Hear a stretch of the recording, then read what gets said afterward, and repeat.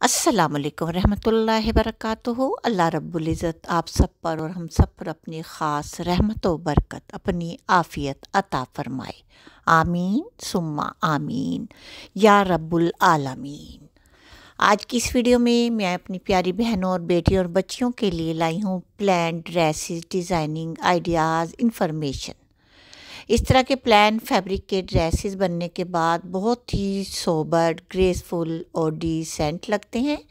अगर आप चाहते हैं इन पर मज़ीद डिज़ाइनिंग करना या कोई कट वर्स के स्लीव्स या शर्ट दामन या कोई यूनिक सा नेक डिज़ाइन बनाना तो वो भी बना सकती हैं। क्योंकि आजकल आपने नोट किया होगा, प्लान ड्रेसेस भी बहुत ज़्यादा इन है, ओवरऑल प्रिंट ड्रेसेस भी बहुत ज़्यादा इन है। अब समर सीज़न है।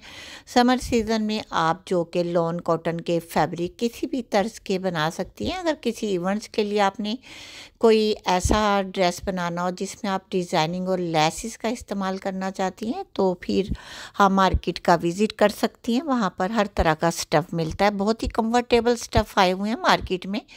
जो कि पहनने के बाद आपको फील भी नहीं होगा कि ये रेशमी स्टफ़ है या हमें गर्मी फील हो रही है या हम कंफर्टेबल नहीं। बहुत सारे ऐसे स्टफ़ हैं, आप ज़रूर मार्केट में जाकर फैब्रिक को बाय करने के लिए इस तरह के ड्रेसेस जो भी आपको अच्छे लग रहे हैं, आप अपने एक्सपर्ट टेलर से ज़रूर रबता करें कि इनमें कितना फैब्रिक लगेगा। अगर सिंपल ड्रेस बनवाना है, उसमें आप बड़े बर का फैब्रिक है तो तीन मीटर लगता है, अगर छोटे बर का फैब्रिक है साढ़े चार से पाँच मीटर।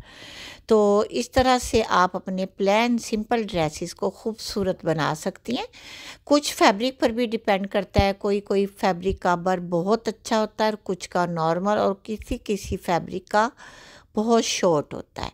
तो इन बातों को भी मद्देनज़र रखा करें, क्योंकि जो आम सिंपल कमीज, शलवार है, लेडीज़ की आपको मालूम ही होगा, मार्केट से जब हम बने बनाए थ्री पीस या सूट टू पीस सूट लाते हैं, उनमें ढाई ढाई मीटर का यानी कि कमीज़ होती है और ढाई मीटर की शलवार होती है। कटिंग करने के बाद आप इनकी डिज़ाइनिंग ज़रूर कीजिएगा।